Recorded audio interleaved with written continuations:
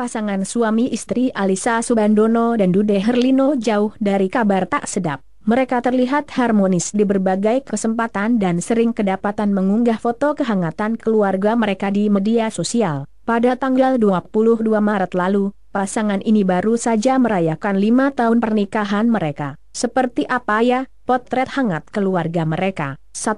Dipertemukan lewat berbagai peran di sinetron, keduanya tak menyangka akan berjodoh. Yang kedua, kedekatan keduanya mulai terendus media sejak 2007 saat mereka membintangi sinetron yang sama. Yang ketiga, namun, mereka berpisah lantaran Ica, sapaan akrab Alisa, melanjutkan studi ke Australia. Meski begitu, keduanya rutin berkomunikasi. Yang keempat, tapi, namanya jodoh, mereka kembali bertemu. Dude bilang, ia ingin punya istri yang baik dari segi agama dan kepribadian, nurut orang tua, dan cerdas. Yang kelima, setelah mengantongi restu orang tua, Alisa Duda resmi menikah pada 22 Maret 2014.